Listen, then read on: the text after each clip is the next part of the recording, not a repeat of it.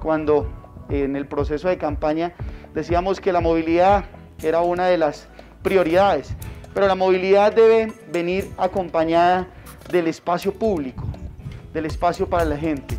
No se trataba de hacer obras a la ligera, por eso eh, agradecemos hoy a Incivilis, la empresa que realizó este proceso, que le dimos continuidad y que desde el mes de febrero inició la ejecución de esta obra, donde tuvimos que suspender un poco eh, por el tema de la pandemia algunos meses.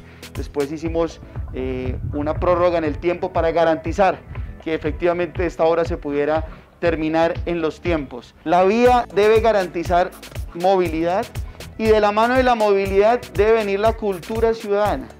Claro, ahora la gente no va a tener que ir hasta el terminal, coger la 12, llegar allá al, al antiguo teatro y volver a bajar. No, ya en 78 metros se va a garantizar tiempo. Hay que garantizar la seguridad. Conjuntamente, entre todos.